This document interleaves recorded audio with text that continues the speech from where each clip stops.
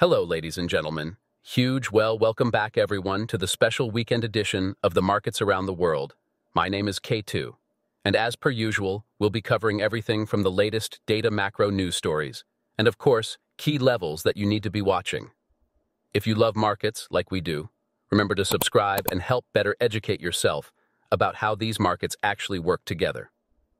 So let's talk about what happened on the market and outlook too, come. The U.S. stock market's bull run has hit a rough patch, as bond yields spiked this month on fears that a robust economy is fueling inflationary pressures. The S&P 500, SPX, is on pace for its biggest monthly drop since December 2022, with April's pullback erasing about half of the gains the U.S. stock market had accumulated by the end of March. The index has slumped 5.5% this month through Friday, reducing its climb in 2024 to 4.1%. Nevertheless, the S&P 500 is just 5.5% away from its record closing peak on March 28th. Equity investors correctly anticipated strong economic growth in the U.S. this year. However, the current issue is that this perspective is already reflected in stock prices, while bond yields are playing catch-up, according to Bob Elliott, Chief Executive Officer and Chief Investment Officer of Unlimited Funds. The increase in Treasury bond yields this year accelerated in April, unsettling U.S. stocks. Yet, Elliott believes that long-term Treasury rates may need to rise even further to temper demand in the economy before the Federal Reserve can gain enough confidence that inflation is sustainably declining towards its 2% target. Financial conditions, pretty much any way you slice it, are easy today, Elliott said in a phone interview.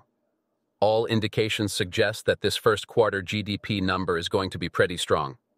This week, on April 25, investors will receive an estimate from the Bureau of Economic Analysis on U.S. gross domestic product growth in the first three months of 2024.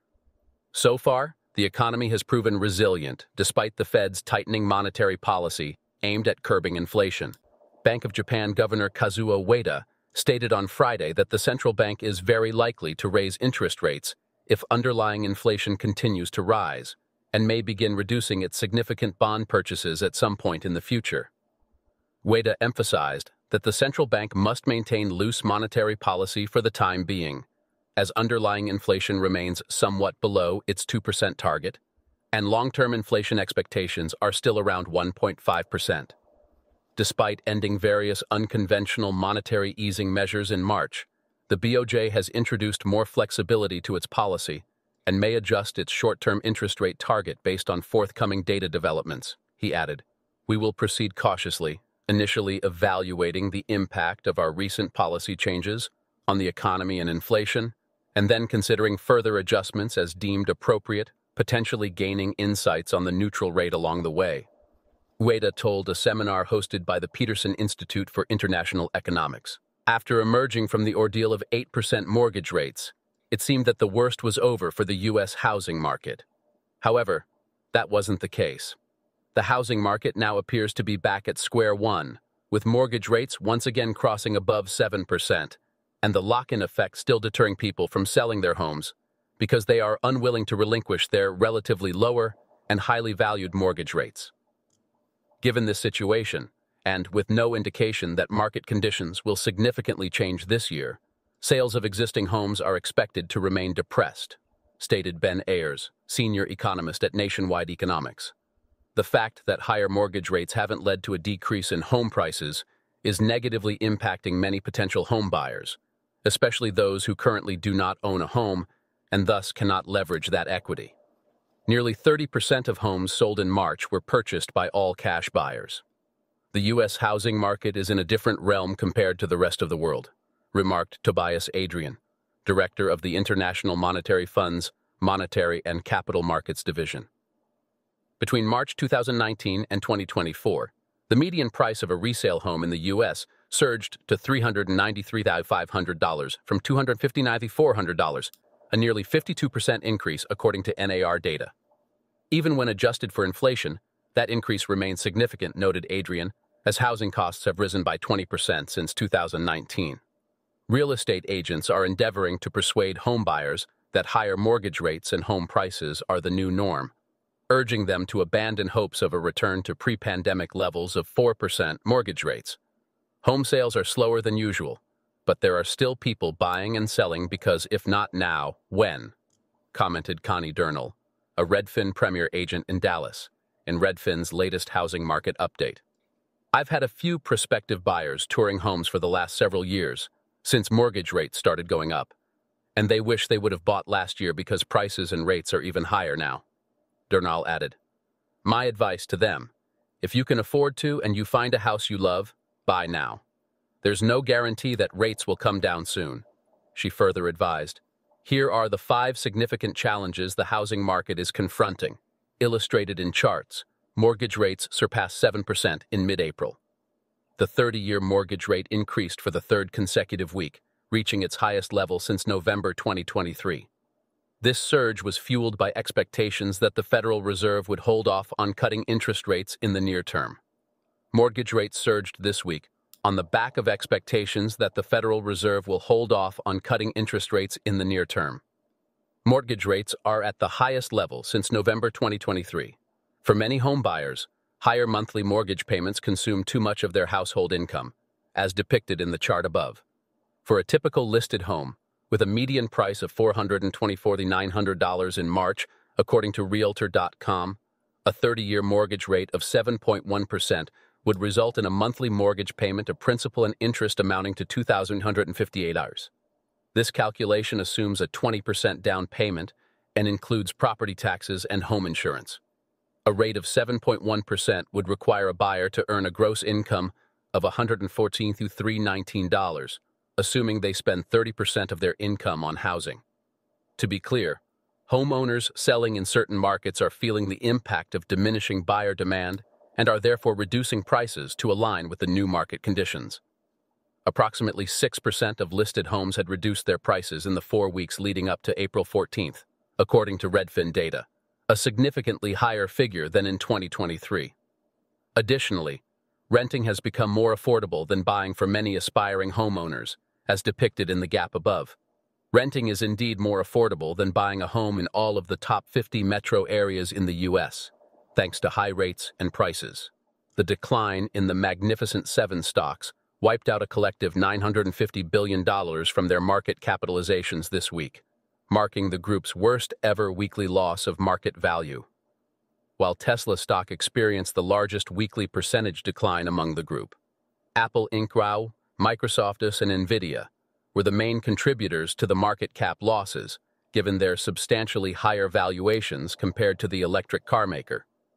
NVIDIA suffered the biggest loss in market capitalization for the week, shedding almost $300 billion. This amount exceeds the total market capitalization of its rival, Advanced Micro Devices Inc., AMD, which currently stands at $237 billion. Shares of NVIDIA dropped 13.6% this week as the semiconductor sector faced pressure.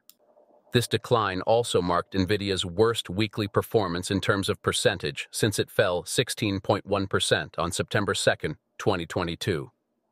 On Friday, NVIDIA's stock plummeted 10%, recording its most significant single-day percentage drop since it fell 18.5% on March 16, 2020, according to Dow Jones market data. With the stock declining nearly $85, it registered its largest one-day price decline on record. Let's review some data that I want to show you guys. We begin with this. The Treasury's cash pile surged by $172 billion to $897 billion on Monday as the income tax deadline came due. This is the highest increase since the April 2022 tax collection. In April 2024 so far, the Treasury has collected nearly $290 billion in taxes. By comparison, in the entire 2022, tax revenues amounted to 600 billion. Tax revenue is skyrocketing with recent capital gains. Next data is, the Nasdaq Composite just posted its biggest daily loss in 17 months. Today, the Magnificent Seven stocks erased a whopping $400 billion in market cap. We now have inflation back on the rise, higher for longer returning, and geopolitical tensions. Another data I want to show you guys is U.S. Treasury bills now yield four times more than the S&P 500's dividend, marking the highest ratio since the dot-com bubble. Over the last 100 years, a multiple this high has been observed only once. By comparison, even during the 2008 financial crisis, this metric peaked at approximately three times. With interest rate cuts being priced out, it is likely that we will see interest rates on bonds continue to rise. This will keep U.S. T-bill rates elevated and may even push this ratio to its highs of 2000. It's yet another similarity to the dot-com bubble. The next interesting data is copper prices are currently at their highest level since June 2022. The last time copper prices were this high, U.S. CPI inflation was at a 41-year high of 9.1%. Over the last two months alone, copper prices have risen by approximately 22%, adding to inflationary pressures. Meanwhile, oil prices are approaching $90, and cocoa prices are at all-time highs. Additionally, U.S. gasoline prices have reached a fresh six-month high. It seems that inflation is back for more. Close pay attention on this data. The Magnificent Seven companies now hold a record $300 billion in cash. Since 2022, their free cash flow has surged by a remarkable 45%. Moreover, since 2019, these tech giants have more than doubled their cash balances. To contextualize this, the cash balance of the Magnificent Seven companies is larger than that of all but 22 U.S. stocks. In fact, their cash balance is equivalent to the market capitalization of Costco. U.S. tech companies truly represent a massive presence in the market. The last data I want to show you guys is, are the gold markets concerned about the U.S. budget deficit? Over the last two decades, there has been a direct correlation between the U.S. debt to GDP ratio and gold prices. As the U.S. debt to GDP levels increased, so did gold prices. Since late 2023, U.S. debt has been increasing at a historic pace, reaching $1 trillion every 100 days. During this time, gold has returned approximately 20%, making it one of the best performing assets of the year. The Congressional Budget Office, CBO, estimates that the U.S. debt to GDP ratio will reach a new record within three years. These trends suggest that the U.S. is on an unsustainable fiscal path, prompting concerns in the gold markets about the U.S. budget deficit. Let's see a heat map and check what earnings we do have for this week. It was indeed a tumultuous week in the market last week.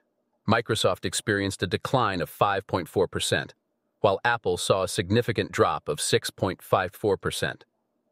It's surprising to see such established trillion-dollar companies facing such downturns. NVIDIA also took a hit, dropping by 13.59%.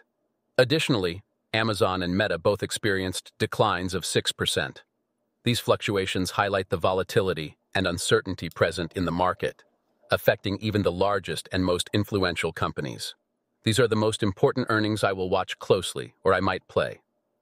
I believe that no matter what Tesla reports, it's due for a bounce, and only a bounce.